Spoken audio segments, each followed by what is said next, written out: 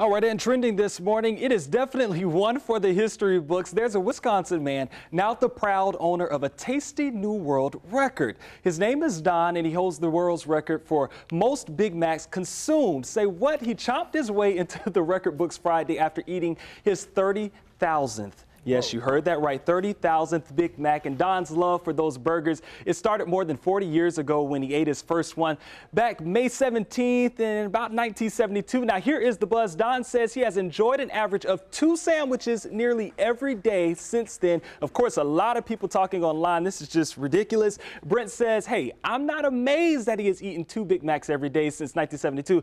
I'm amazed he's still alive. All right, so let us know what you think about this. Of course, you can always chime in using the hashtag GMJ. He's skinny too. Don, what are you doing? Oh my God.